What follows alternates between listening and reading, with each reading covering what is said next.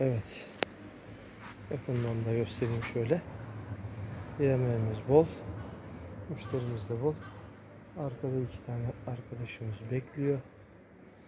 Afiyet olsun diyoruz.